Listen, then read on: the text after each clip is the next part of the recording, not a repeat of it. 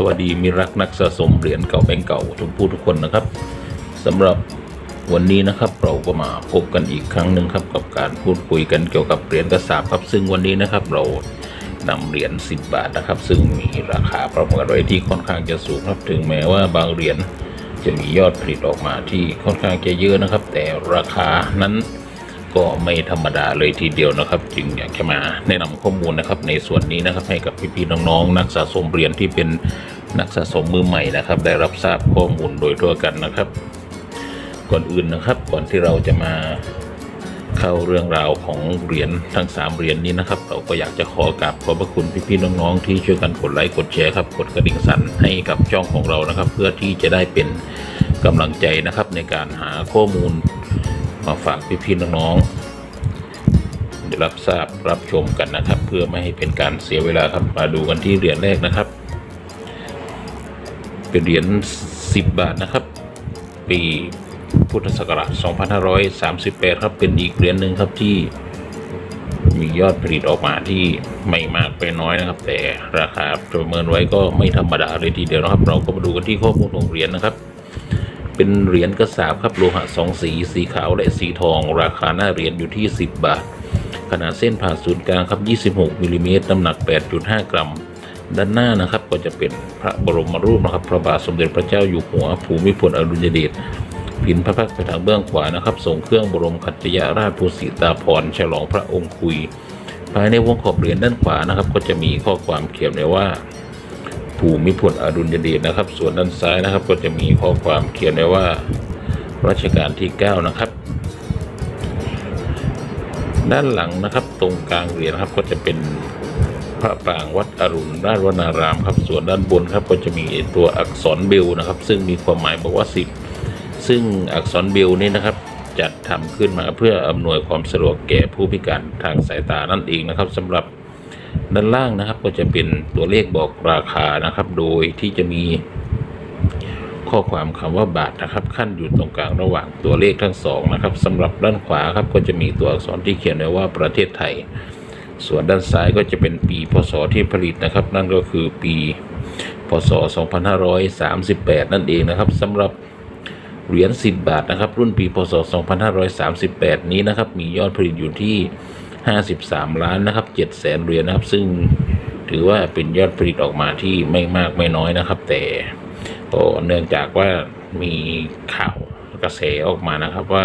เหรียญของในหลวงรัชกาลที่ 9 นี้นะครับได้มีการเรียกเก็บคืนไปเป็นจำนวนมากแล้วนั่นเองนะครับ เพื่อที่จะนำไปหลอมแล้วก็นำไปกลับไปผลิตเป็นเหรียญกระสาบรุ่นใหม่นะครับ ออกมาใช้ในระบบหมุนเวียนของบ้านเรากันต่อไปครับ แล้วก็มีข่าวออกมาอีกข่าวหนึ่งนะครับว่า ราคาเหรียญกระสาบนะครับ ของในหลวงรัชกาลที่9นะครับอาจจะพุ่งสูงขึ้นอีกหลายเท่าตัวนะครับ ภายในอีกไม่นานนะครับ ไม่กี่ปีข้างหน้านี้นะครับ จึงอยากจะมาบอกรับทราบนะครับให้กับพี่ๆน้องๆนะครับได้รับทราบข้อมูลครับได้เริ่มเก็บสะสมกันไว้นะครับเนื่องจากว่าการเก็บสะสมก็เป็นการออมเงินชนิดหนึ่งนะครับ เราเก็บสะสมได้มากเท่าไหร่นะครับ เราก็จะมีเงินออม ไว้ใช้ในอนาคตอยู่มากเท่านั้นครับ ส่วนราคาที่ประเมินไว้นะครับสำหรับเหรียญ 10 บาทนะครับ รุ่นปีพศ 2538 นี้นะครับ ราคาประเมินไว้จะอยู่ที่เหรียญละ 150 บาทนะครับสำหรับเหรียญ UNC นะครับ มาดูกันอีกเหรียญหนึ่งนะครับ เป็นเหรียญ 10 บาทมันก็น่าปี พุทธศักราช 2546 นะครับซึ่ง เหรียญนี้นะครับมีความสวยงามครับ แล้วก็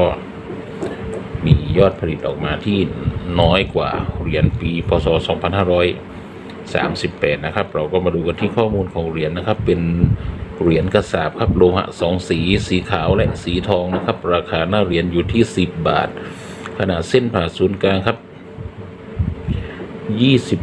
6มิลลิเมตรน้ำหนัก 8.5 กรัม ด้านหน้านะครับก็จะเป็นพระบรมรูปนะครับ พระบาทสมเด็จพระเจ้าอยู่หัวภูมิพลอดุลยเดชพินพระพักตร์ไปทางเบื้องขวานะครับส่งเครื่องบรมคัติยราชภูสิตาภรฉลองพระองค์คุย ภายในวงขอบเหรียญด้านขวานะครับ ก็จะมีข้อความเขียนไว้ว่า ภูมิพลอดุลยเดชนะครับ ส่วนด้านซ้ายนะครับ ก็จะมีข้อความเขียนไว้ว่ารัชกาลที่ 9 นะครับ มาดูด้านขอบเหรียญนะครับ ก็จะมีลักษณะเป็นรูปเฟืองจักสลับเรียบนั่นเองนะครับ ด้านหลังนะครับตรงกลางเหรียญครับก็จะเป็นพระปรางวัดอรุณราชวนารามครับ ส่วนด้านบนก็จะมีตัวอักษรเบลครับ ซึ่งมีความหมายบอกว่าสิบด้านล่างนะครับก็จะเป็นตัวเลขบอกราคานะครับ มีทั้งเลขไทยแล้วก็เลขอาราบิก โดยที่จะมีข้อความคำว่าบาทนะครับ ขั้นอยู่ตรงกลางระหว่างตัวเลขทั้งสองนะครับสำหรับ ด้านขวานะครับก็จะมีตัวอักษรที่เขียนไว้ว่าประเทศไทยนะครับ ส่วนด้านซ้ายก็จะเป็นปีพศที่ผลิตนะครับ นั่นก็คือปีพศ 2546 นั่นเองนะครับสำหรับเหรียญ10 บาทนะครับ รุ่นปีพศ 2546 นี้นะครับ มียอดผลิตอยู่ที่ 49 ล้านนะครับ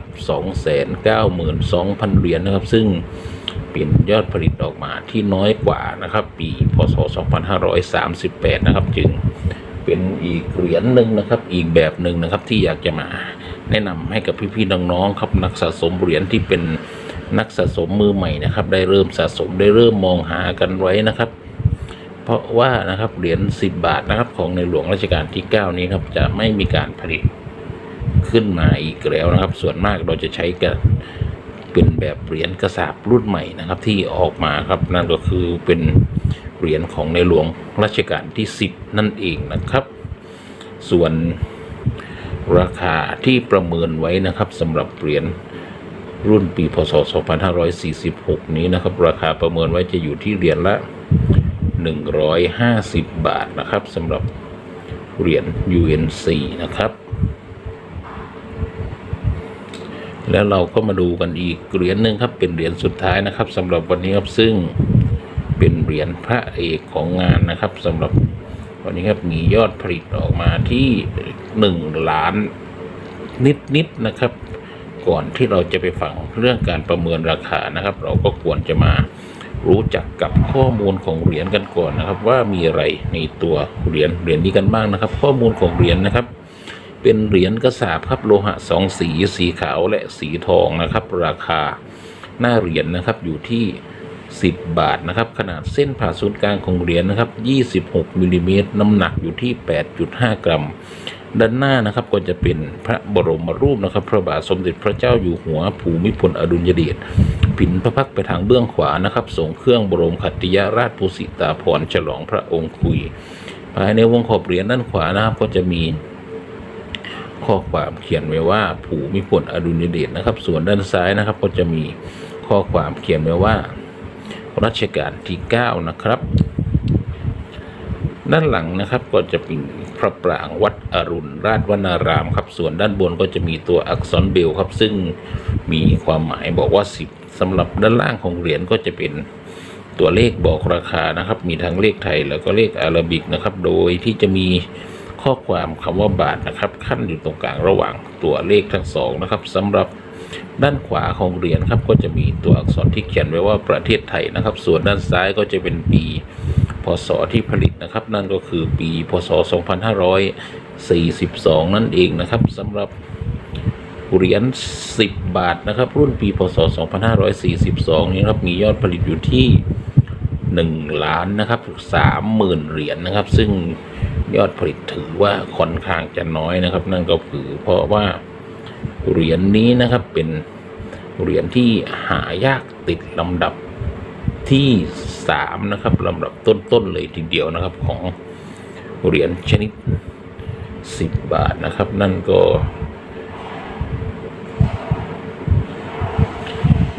ไม่รวมกับเหรียญปีสามสามนะครับที่ว่า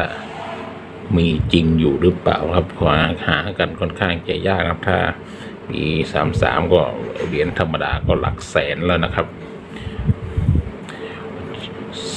สำหรับราคาที่ประเมินไว้นะครับเหรียญ10 บาทนะครับ รุ่นปีพศ 2542 นี้นะครับราคาประเมินไว้จะอยู่ที่เหรียญละ600 บาทนะครับสำหรับเหรียญ UNC นะครับ แต่ถ้าเป็นเหรียญแบบเหรียญ EF นะครับก็